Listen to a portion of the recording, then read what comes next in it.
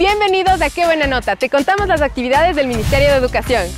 Durante esta semana se llevaron a cabo las primeras fases de retorno a la presencialidad.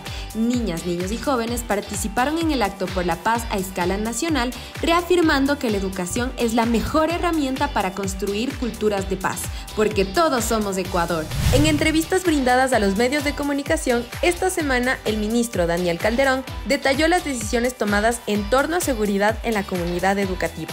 Además, amplió información de los protocolos que se aplican en posibles casos de inseguridad reportados en instituciones educativas.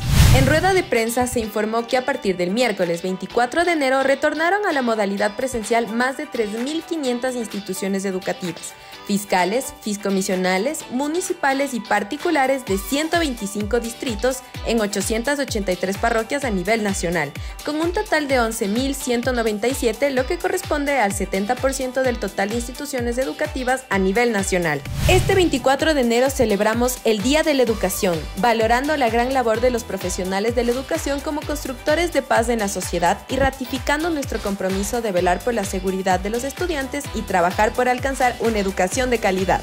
En una reunión con el Metro de Quito generamos una alianza estratégica para articular mecanismos que beneficien a los docentes en una movilidad digna y segura, y así fomenten la cultura metro en nuestros estudiantes.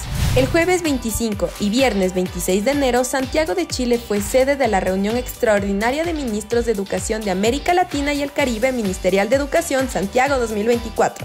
El Mineduc tuvo una valiosa participación en este encuentro de intercambio de experiencias y políticas públicas con el objetivo de generar una agenda de acciones concretas para superar la crisis educativa post-pandemia. En el mismo marco, el viceministro de Educación participó en el evento temático Acelerar los aprendizajes con tecnologías costo efectivas, junto a las autoridades del BID. Incorporamos innovación para la recuperación educativa del Nuevo Ecuador.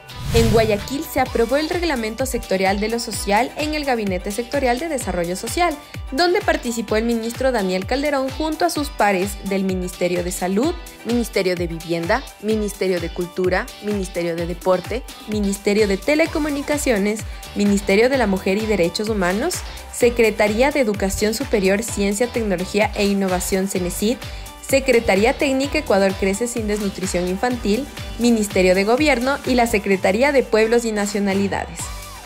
En reuniones con el ministro de Deportes y la ministra de Cultura se abordaron varios temas de interés con el objetivo de fortalecer las competencias laborales, personales y afectivas en las que se toman en cuenta el arte y el deporte como ejes transversales en la vida de los niños, niñas y jóvenes de nuestro país.